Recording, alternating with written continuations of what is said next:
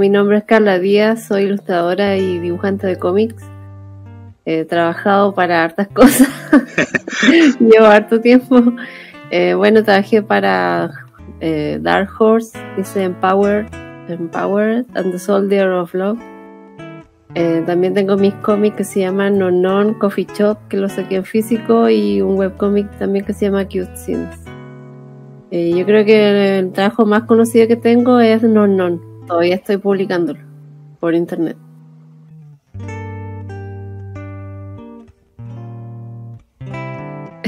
bueno, desde chica, desde súper chica, desde guagua yo creo. Bueno, dibujando como profesionalmente, onda como que me pagaran por dibujar hace como 10 años.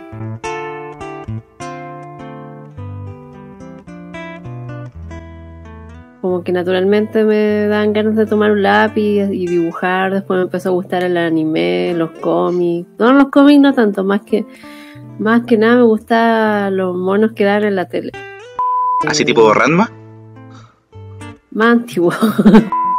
Candy, Candy, Heidi, eh, Lady Oscar, Supercampeones, Dragon Ball. Pero antes de eso igual dibujaba, antes del anime igual dibujaba, pero el anime como que me influenció.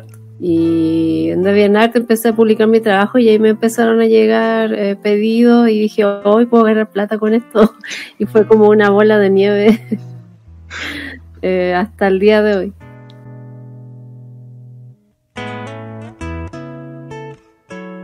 Eh, si me dedico 100% como un día, o sea, no entero, como 8 horas, 9 horas, y si es muy complejo, más de un día.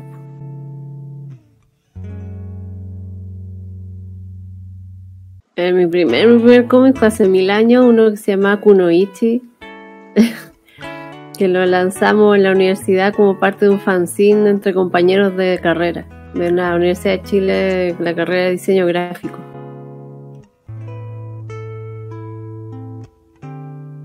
Con Bichos Raros, con Sebastián Castro y después me lancé sola con Coffee Shop. Y con ese ya empecé a crear mi reputación de dibujante de cómic independiente. Lo lancé sola, lo hice sola, todo sola. o sea, sola me refiero de forma independiente como lo autopubliqué, busqué yo la imprenta, yo lo hice el evento de lanzamiento y todo eso. Aparte que uno tiene el control de todo el proceso, eso es bueno. Lo malo es, que como uno es, independiente, no tiene los mismos canales de distribución que una editorial más grande.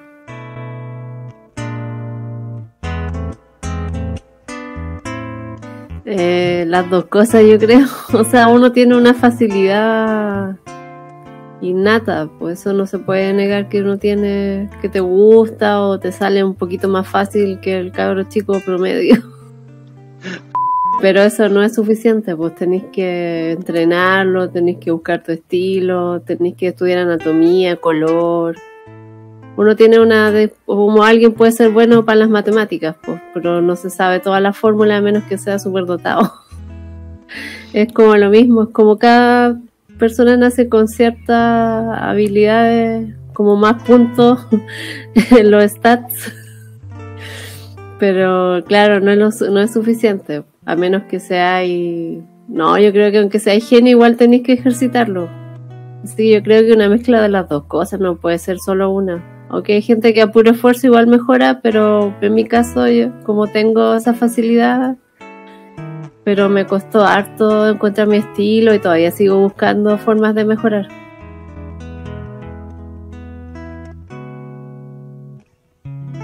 Así como una, no. Me gusta es porque le fue bien en, redes sociales y no sé cómo se me ocurrió esa idea y me gustó, todavía me gusta la ejecución del dibujo.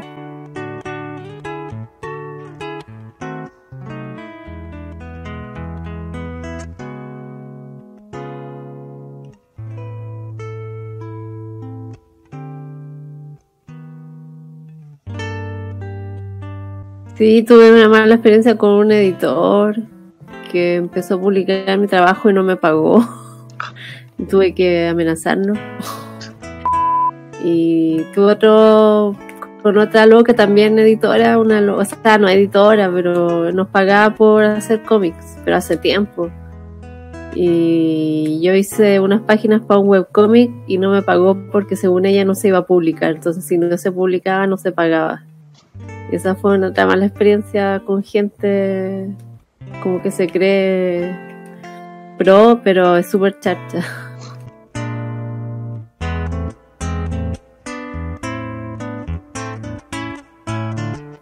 No podía estar así a escondido siempre hasta que digáis, oye, estoy listo. Yo creo que aunque no estés listo, tenéis que mostrar tu trabajo. Y ahí ir mejorando y a veces la gente igual te da buen feedback. Entonces, bueno, ir mostrando tu trabajo desde... Y aparte, si no estáis listo, a la medida que pasa el tiempo, te va a ir mejorando y la gente va a ver tu avance y eso también la gente lo aprecia. Entonces yo no sé si si me aguantaría hasta estar lista. Yo no estaba lista, igual subía mis dibujos y eran terribles feos. Por principio con una tableta digital chica. Igual la gente me pescaba. o, o no mucho, pero pero igual nunca nunca se me cruzó por la mente como oh, estoy lista o no estoy lista. Yo creo que no, no hay que esperar estar listo porque nunca nunca va a estar listo, yo creo siempre vaya a tener un, un techo, o sea, el techo nunca lo vaya a tocar, yo creo. O sea, es la idea, por nunca quedarte tranquilo con tu dibujo, con tu arte. Siempre tratar de mejorar o de mutar.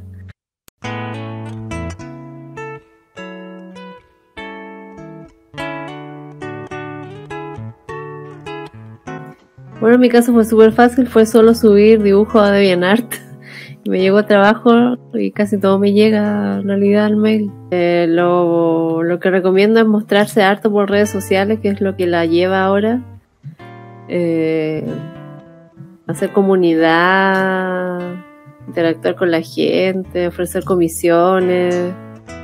Y la otra es la otra vía más tradicional, que es hacer tu portafolio y mostrarlo a distintas partes. Esos son como los dos caminos que hay, yo creo.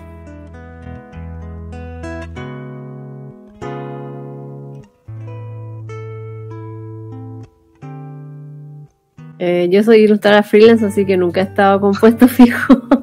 Una vez fui a una entrevista, pero tuve que hacer muchas pruebas y, no, no quise hacer tantas pruebas para quedar en el trabajo.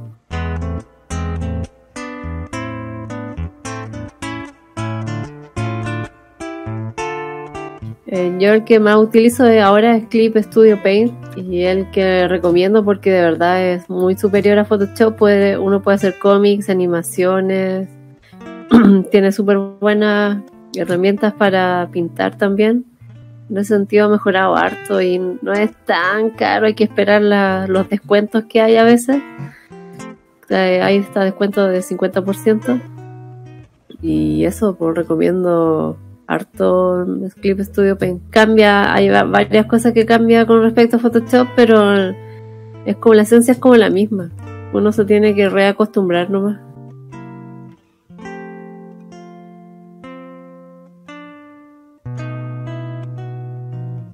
Que bueno, dibujo puras, casi puras mujeres.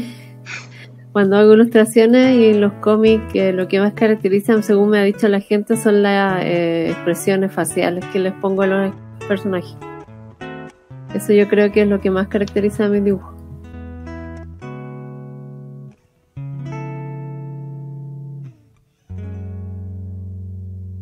Para nada. De hecho, al contrario, como que me han dicho hoy, qué bacán que sea mujer y que dibuje también.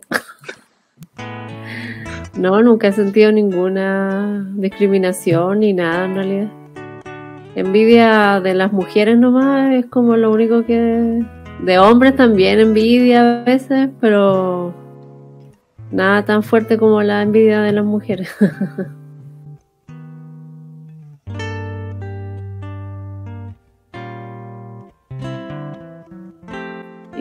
Insatisfecha. pues me podría ir mejor en las redes sociales y todo eso, pero igual la gente creo que me conoce. Pero igual me invitan para eventos y cosas así, así que no estoy tan mal todavía.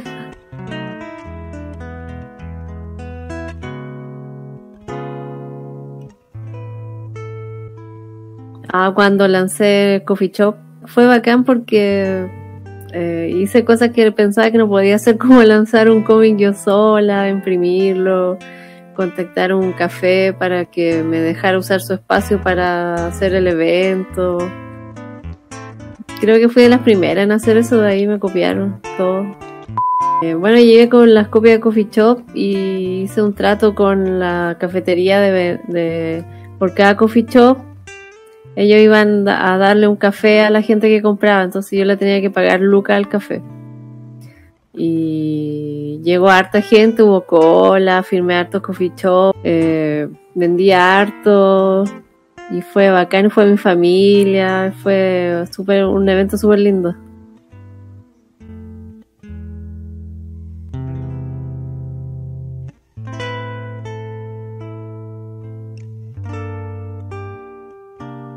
Sí, antes, eh, cuando más, cuando era más ilustradora que dibujante de cómic, hice varias charlas en universidades y partes así. Eh, hice un workshop y tengo unas clases ahora en Creana, pero no me dedico como a la enseñanza en todo caso.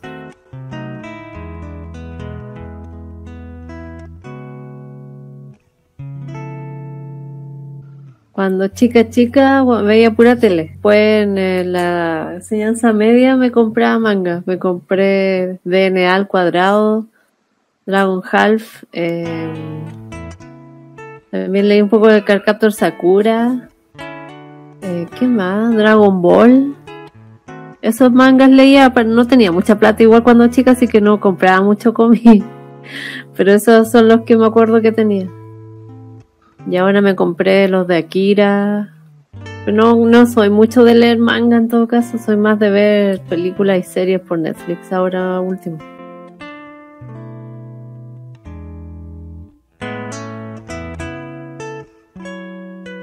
El dibujante de Death Note. Bueno, a mí me gusta el, ah, me gusta Akira, Katsuhiro Tomo.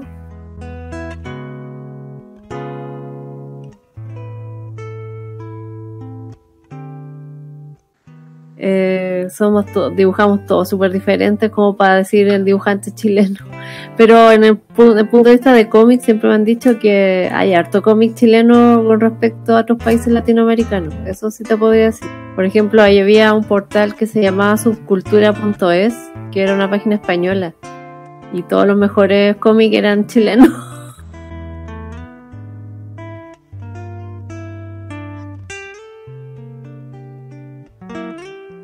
Eh, estudié diseño gráfico que no tiene mucho que ver con diseño, pero igual dibujaba y había compañeros que dibujaban, así que nos juntamos y ahí lanzamos ese fanzine que mencioné antes.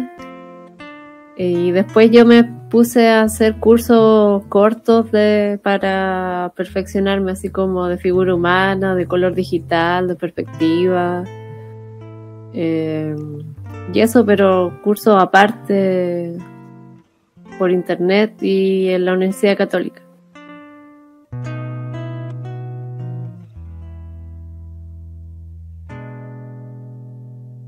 Eh, sí, me libera como de la vida diaria.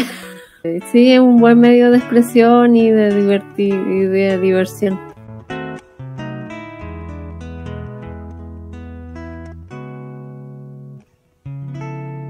O sea, bueno, que seguir viva después del coronavirus, primero que nada. Terminar mi manga no non, eh, empezar otro manga y soltarme más en el dibujo porque recién ahora he estado como que, pasé como una crisis, recién estoy saliendo a la superficie.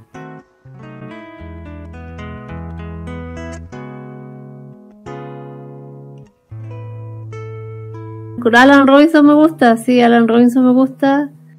Eh, Nelson Daniel me gusta. Y hay otro que es menos conocido, que un dibujante como de ilustrador, pero no me puedo acordar cómo se llama.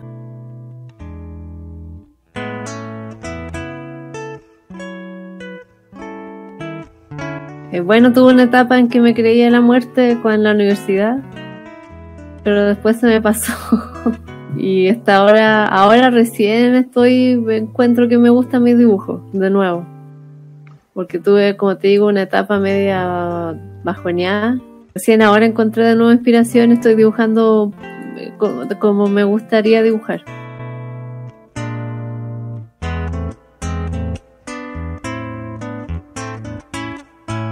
Y nada, mi mamá, mis papás no entienden mucho, pero me apoyan. y eso, así no, no me han dicho nada en especial, así como, como que les gusta que me vaya bien y se alegran cuando me invitan a eventos. Fueron cuando lancé mi cómic, así que ha sido buen apoyo.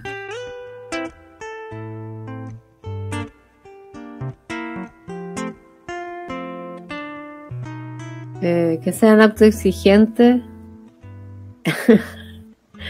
eh, que no se den por vencidos y que practiquen todos los días y que estudien. Eso les diría.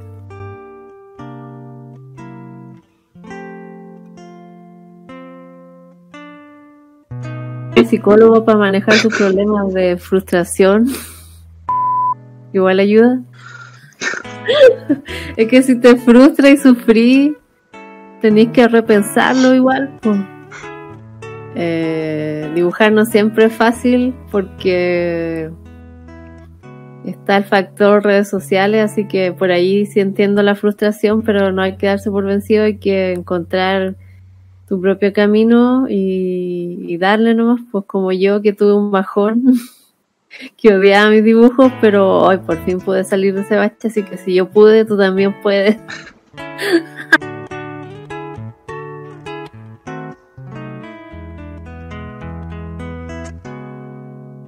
Eso era. Muchas gracias por. Eh, Qué bueno. Y hoy, sí, gracias por la entrevista y la invitación.